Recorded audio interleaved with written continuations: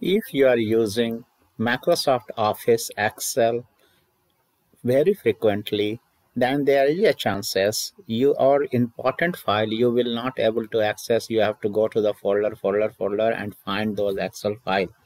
So how to add this uh, your favorite Excel files or most frequently used Excel file so that you never going to forget so in excel terminology we call this one as a pin. So you can pin an excel is kind of favorite. So you have to go here click on file and first you have to open that excel so so that it will be in the memory. So now click on here pin. So this is pinned to your excel. So this is always going to show you here. Even you will open hundreds of excel but these two uh, pinned file will show always on top of the uh, your list